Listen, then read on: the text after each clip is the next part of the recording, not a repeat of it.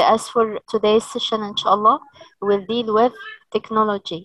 And as for today's session, we have some learning outcomes. The first one is to get access to a range of online platforms that could help you design and adapt your activities to incorporate technology into your teaching. The second outcome for today would be to be able to select websites that are suitable to use in your context as a teacher. The first part will be about evaluating and selecting websites. Websites. Yes, it would be about how we can evaluate and select the websites and are there certain criteria that we need to put in mind while choosing a certain website for our students? We will watch this video, but while watching, I want from you all to know the statements or the steps that we as teachers can use or should put in mind while choosing or selecting websites for our learners. Okay? So we're going to do what? Watch Listen a and video. select the Watch a video and uh, write the steps. Thank you so much.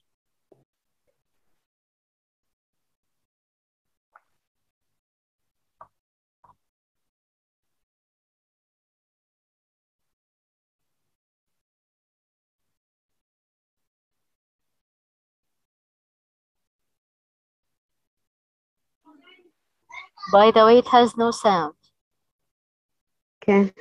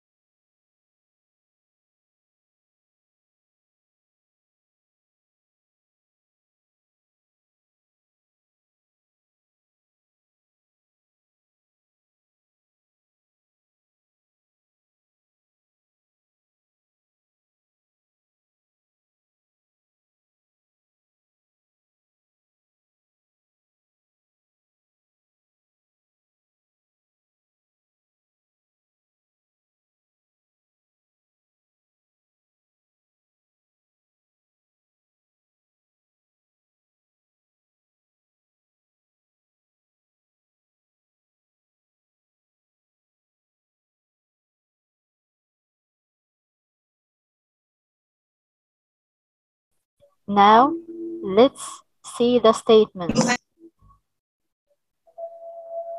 Take a minute and put these statements in the right order. Which one comes first? Search for a suitable website. Check the site content. Hmm. Mm, I think first uh, we should think about Right, your for- name for and learners the materials you level. need. Site is easy to use. Okay, yes, Miss Nagla, you're right. Mm. After that, Mhm. um, Check uh, the site uh, is accurate. Prepare and choose. Easy to use. Uh, check the site content uh, is right for your learners level. Any other ideas? Uh, check the site is accurate. No, it's search for a suitable website. Search for a suitable website. Yes. Yes. Mm. Okay, and here's the correct order. So the first one is to think about your aims. And as for the aims, when they are clear in front of us as teachers, by the end of the lesson, we would know either we have covered them or not. And when we cover them or achieve them, this means that our lesson was a successful one. Or your teaching was a successful one. So I need to think about my aims and what kind of material I need. As for the second step is to search for a suitable website and that would help me to achieve my aims. The third one to check the site is easy to use because I don't want something complicated for my students. I don't want to explain how to use a site for 30 minutes, for example, for them, and then they do the activity in five minutes. So I have wasted a whole class or period of my time. That doesn't make sense. So I want to make sure that it's easy to use as for the website. Number four, we're after accuracy. By accuracy, we mean it doesn't include any mistakes. After that, if it isn't accurate, choose a different website. Don't stick to it. If it has like spelling mistakes, grammatical mistakes, don't stick to it. Choose another one. There are plenty of them. After that, check the site content because sometimes the content could be nice and has nice activities, but the content could be difficult to for my students' level. And of course, we're after two things, the content and the level here. Then we prepare uh, our lessons using the resources that we have selected. Here we have our first platform for today. It's Kahoot. Have you ever tried it before? Yes, I think I tried it before. Can you tell us your idea or experience regarding this platform? Uh, it is a good platform for making quiz uh, during the class and uh, as a ho- homework or assignment. Mhm. Um, but it only uh, focus on two main uh, question. Mhm. Uh, quiz, choose the correct answer, Mhm. uh, and the second is true or false. Mhm. But the others are paid. Yes. Um, I, I think it is a good uh, example for making uh, tests, um, as the whole tests nowadays, uh, as secondary school, Mhm. all of them is choose from the correct answer. It's a good way to give uh, homework or assignment for uh, students. Yes, thank you so much, Mister. Okay, as Muhammad for Abdullah. yes, I know you are. Thank you so much. As for this platform, as Mr. Muhammad said, we would have an activity. The activity here is called What is Climate Change? This is a kind of activity that we can use with our students. We will go to this website or platform and use this link. I'll send you the link on the chat box. Go to the website, but we would talk about certain details regarding this platform. In this activity, we're asked to put the statements under the right category. Does it belong to ease of use? Because as we watch it in the video, when we evaluate websites, we're after three main points. Ease of use, it means that it's easy for students to use. As for this page, as we talked about the idea of evaluating websites, we need to put in mind three important points or categories.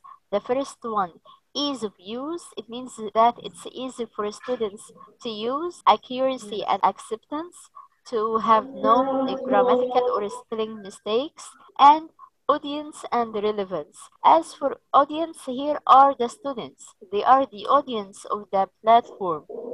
And relevance, means that it's related to the student's level. When you click on that link, you would go to this page. As you can see here, we would choose to play as a guest. If we are to take the student seats, we would play as guests. So in Kahoot, I can use it as a creator, as a teacher, the one who creates or forms the questions or the quiz, or to play. And in this part, I would uh, choose to play as guest. And please make sure that your students wouldn't show the answers like the part here on the right. When you click on play as guest, you would go to this page. And we have here two modes to play as classic or team. Team if we are the whole class or the whole group are to play together or against other teams. But here, because we are individuals, we would play in the classic. At the top here, we have the name of the game, which is evaluating website. Look at this link,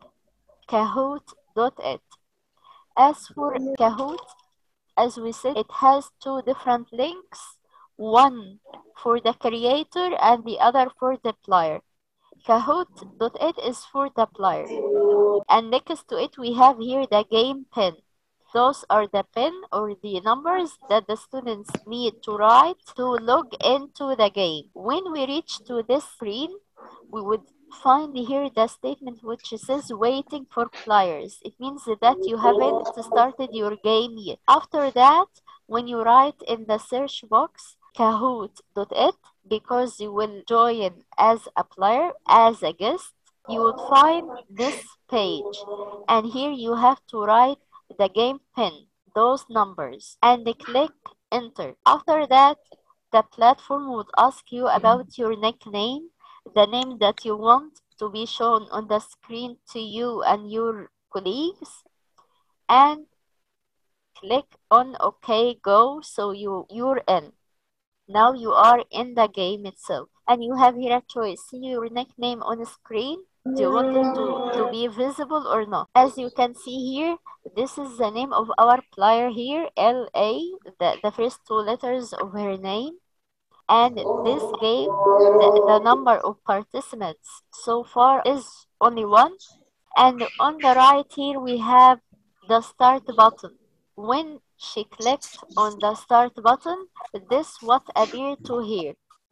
And as you can see here again, because we are logging as uh, players or guests, we have chosen to log in through kahoot.it players, for students. And the first question is, does the information appear to be accurate?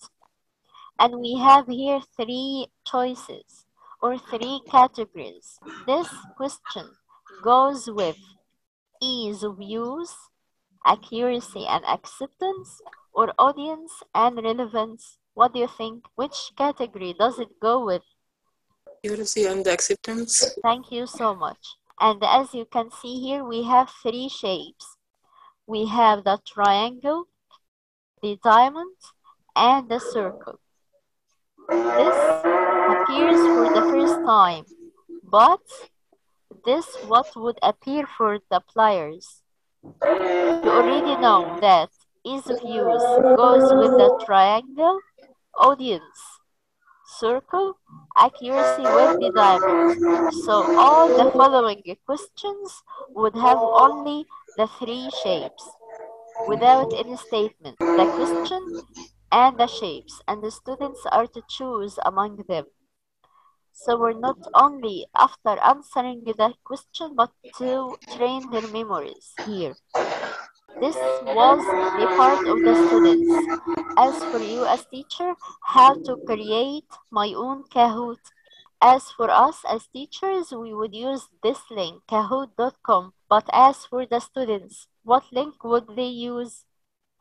Kahoot.it. Yes. As for us as teachers, if it's the first time for us, we would click on sign up.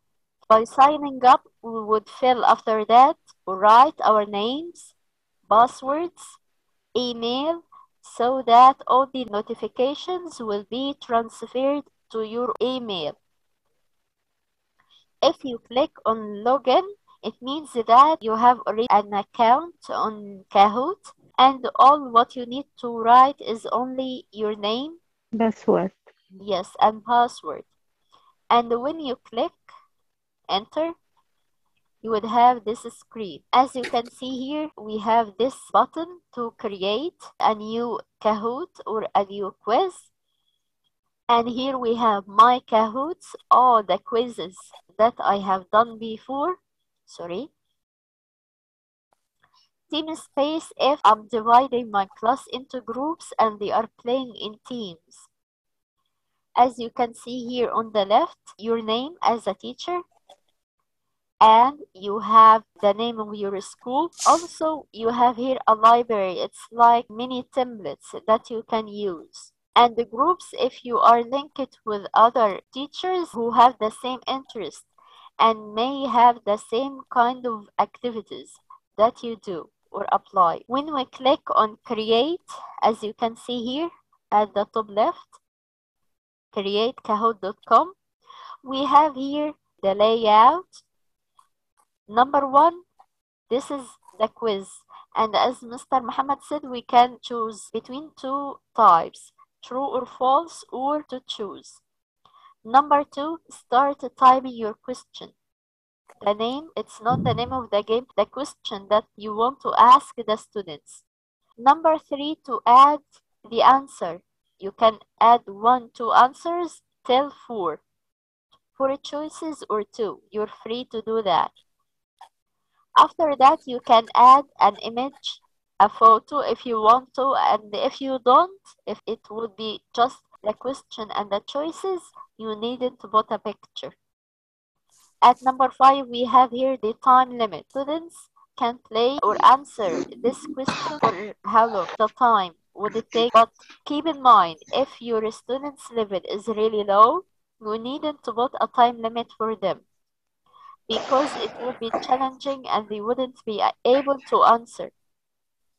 But if they are like good achievers, you can of course put a time limit. So it depends on the level of your students. And the points here, it could be one point for each question. If the question is like hard, you can put two points or more. As for add question, this is when you're done with the first one and you want to put the second and the third, you know? After you finish writing all the quiz that you have, you can share it with your students by one of the following platforms. The easiest one, you would have here the link and you would copy and paste it to the WhatsApp group, for example.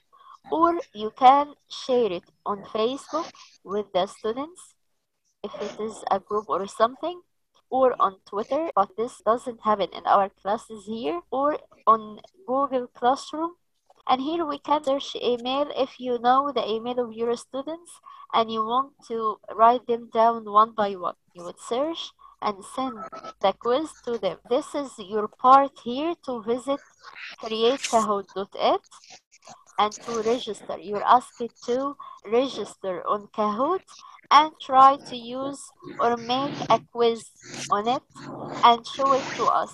Please try to do this. It would be fun and it wouldn't take so long time or so much time from you. Okay, try to create your own Kahoots and send them on the WhatsApp group and we can play it together. You know, you can put a minimum two questions.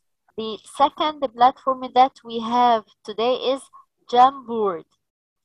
And what is it? And how to create your own Jamboard. If you have a Google account, click on the dot shape. Look at here. If you click on home for Google, you would have here the dots on the right, either on your mobile or on your laptop. Okay? And when you click on the dots shape, you will be taken into the different features that Google has. This board including Google Classroom and the cloud, cloud print. But here we have the Jamboard. When we clicked on Jamboard here, we will go to this page. And on the right side, you have a plus sign. That's it. This is to create a new Jamboard. And when you click on it, you will find this white sheet. On the left side, all the tools that you can use for your Jamboard. It's similar to the word, by the way. We have here the eraser, the highlighter, the pen, and we can put different shapes or highlight them. And at the top here, if you want to add more than one page, you can do that. You can clear, it's uh, like to clear all the sheets or set a background like color and so on. On the right side here, we have the share sign. And when we click on it, this is after you finish writing your own quiz. And I think this platform would be suitable for writing essays, paragraphs, because it's easier for students to type on their mobiles than to write. So it will be fun too. When you finish writing the name of your quiz or the title, you can click on share and you will find this page. You can share by two ways. The first one is to get the link to copy and paste on which platform you're using. And as you can see here, anyone with the link, and you can make it private and you can make it public for everyone who has the link or only your students. And as for it, the editor, of course, you need the students to write, so you would keep it as editors because you would edit and write on the sheet.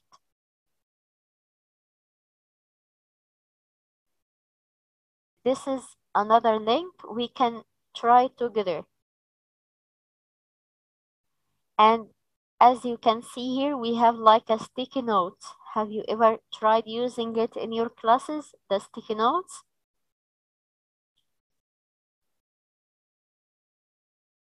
Yes. For me, no. Okay, thank you.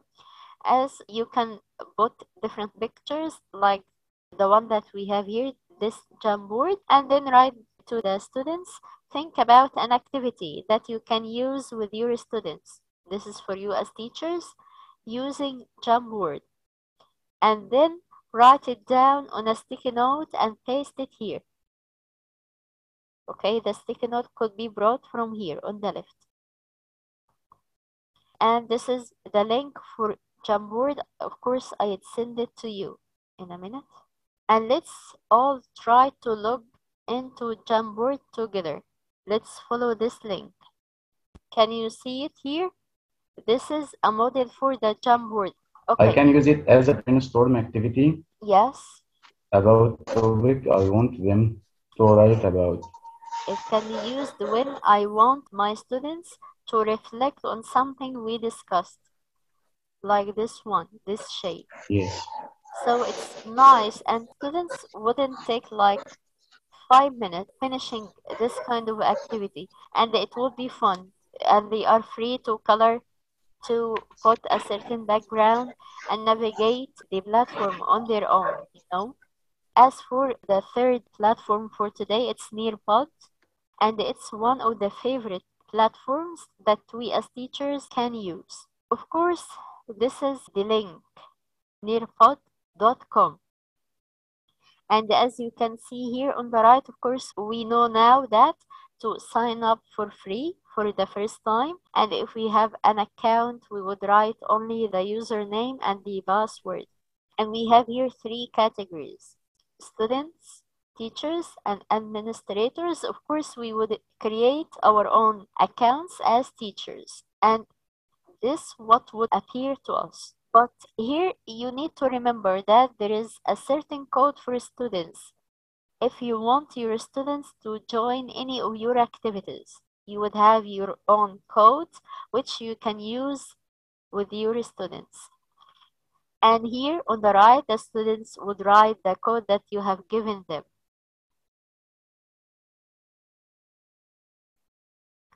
And this how the page or the screen looks like on Nearpod. As for us teachers, we don't have codes. Only students would have codes. To make it easier for them to use this website. As you can see here, we have the code for students to join a lesson. You can have a code for each lesson. And on the left here, we have my lessons, the lessons or the activities that I have prepared before. And we have here the library to search like a database for you. Could be helpful for you to find other activities that you can apply with your students. And if the students are to use Nearpod, they follow the same steps. Here we have the button of create to create a new one. Play with a demo if you are to play online with your students. And here folder because you can divide them like unit 1, unit 2, and so on. And we have here a model for your recent work. When you're done with the creating part, you will have here the sharing screen. All what you need to do is to stand by the right side of the activity name and you will have the sharing screen. If you click on live participation and Zoom, this is like us for now. So you are working online with your students. If you are to use the student-based link, this means that you would send this link to the students and they are to watch it whenever they want. So we were talking about the sharing part as for Nearpod. If we are to click on the student-based, it means that it's the student's turn to log in and to use the code that you have provided them. And they can play it many times when they want the way they want. But of course you as a teacher if you are to mm. use any of those platforms please set a, a time limit for the students to finish their work. Look at this screen. As you can see here we as teachers try to log in to nearpod and tell us what features does this platform have that you can use with your students try to navigate it create an activity and send the code to your colleagues for us. And we would be pleased to join you in your Nearpod. The next platform is Padlet. Have you heard or used it before? No? No. Okay. Unfortunately.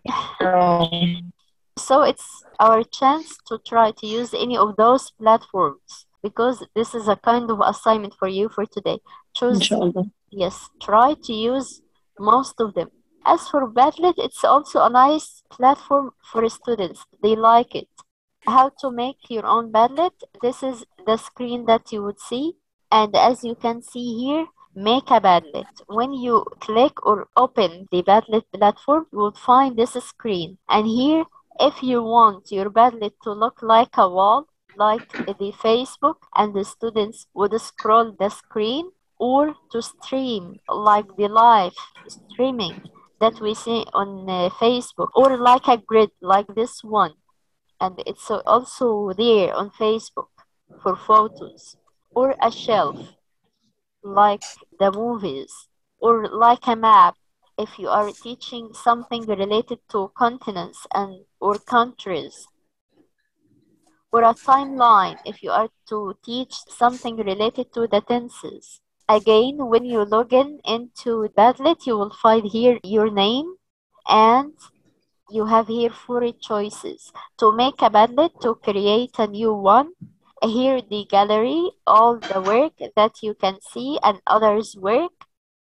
And we have here the recents, your recent work. As for recents, it's divided here for made, the ones that you have made by yourself. Shared are the ones that you have created or made and then you sent to your students.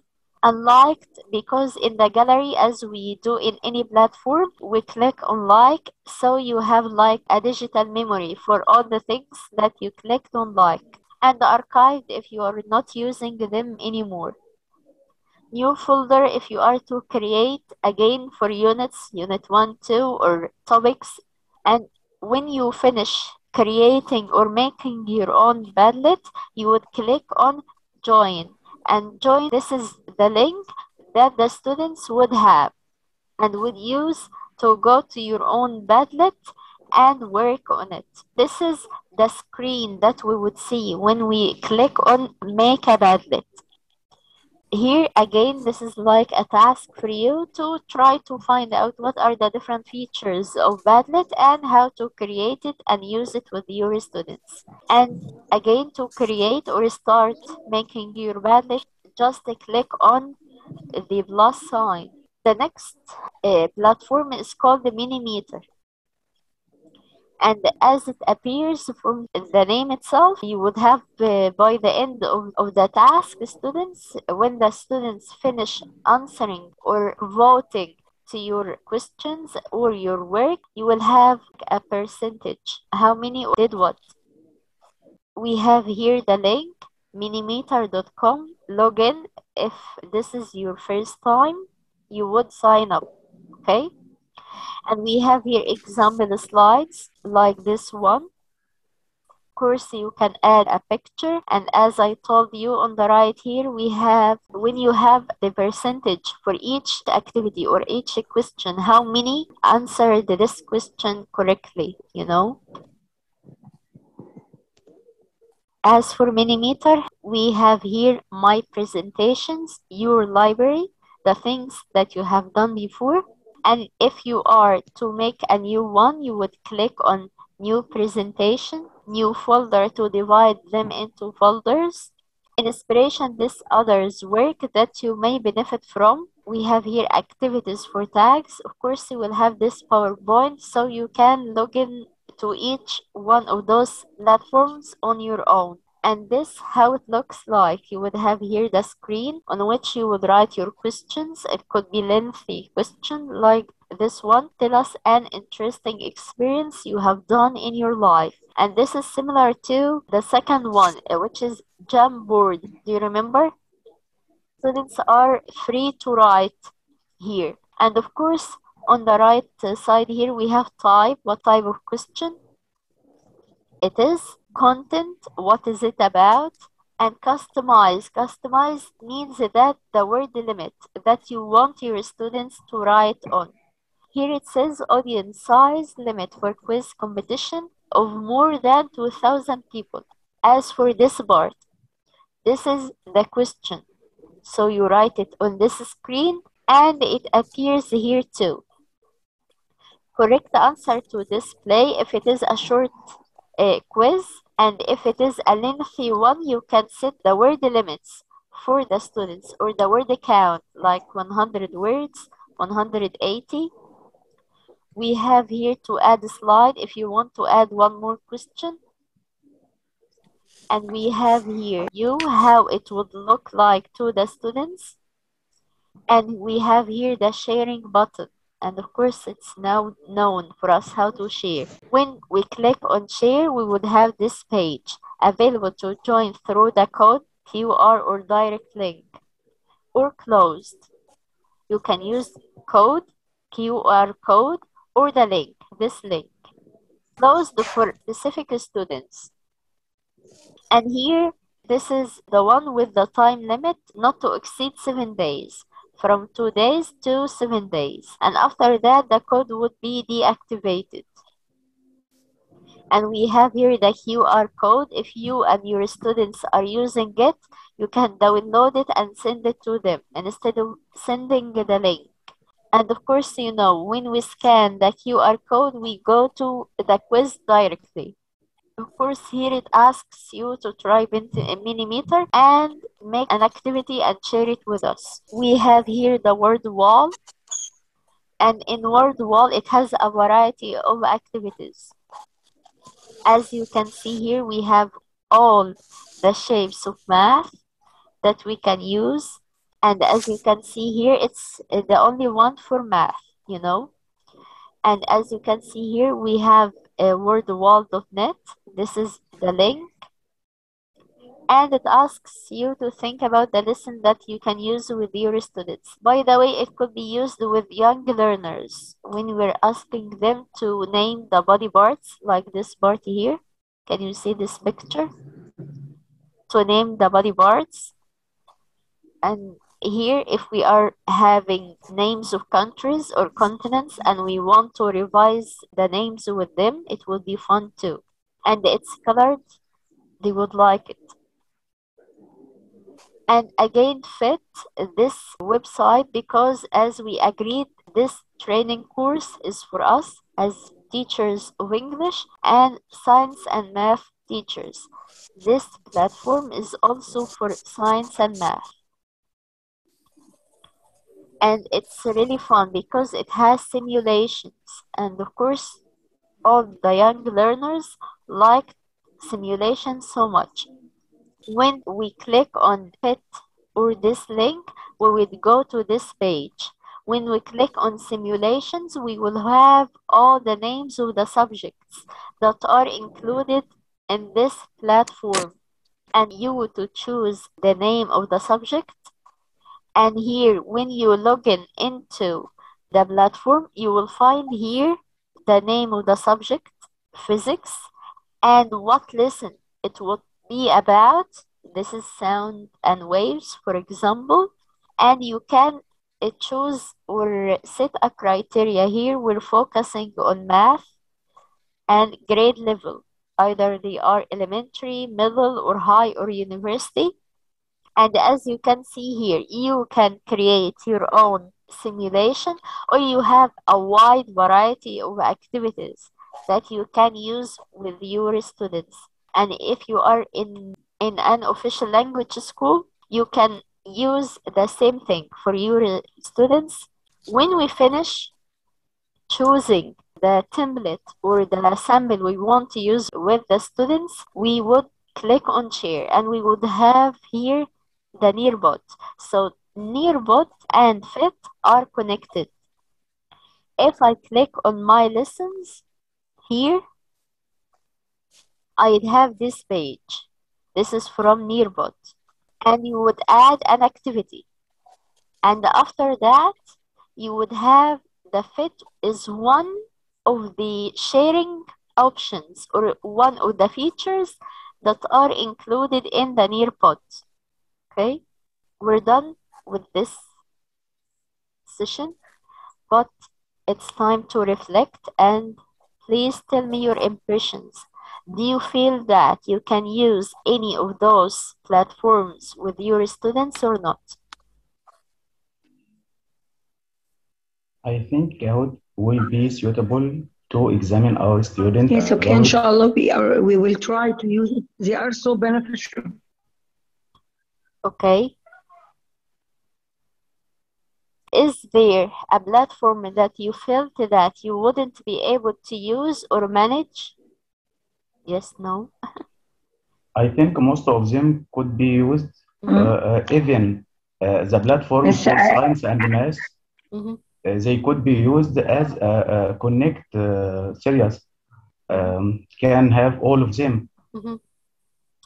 Okay, we have here this lesson and we will start next time inshallah by this activity or action plan or how to apply or use or exploit any of the previous platforms to teach or ask or evaluate students' performance on that lesson.